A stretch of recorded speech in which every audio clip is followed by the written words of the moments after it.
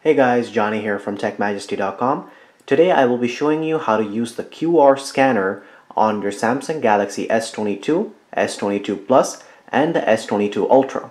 So this year Samsung has changed it up a little bit. Uh, on the S21 last year, you had the option to turn on and turn off the pre-installed QR scanner on the phone. This year on the S22, Samsung has already made the QR scanner on by default. So you can see what I mean by this right here.